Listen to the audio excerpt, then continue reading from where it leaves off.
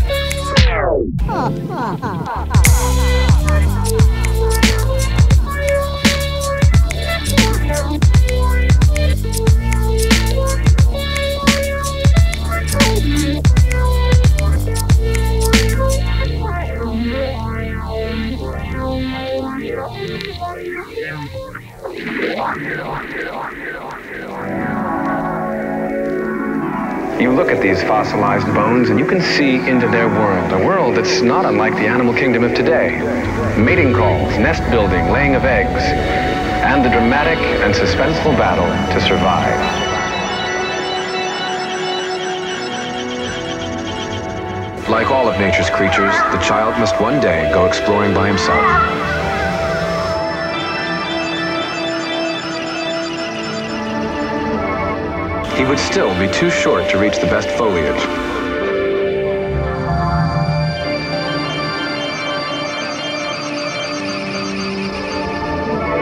It could be the oldest complete skeleton of a dinosaur this small.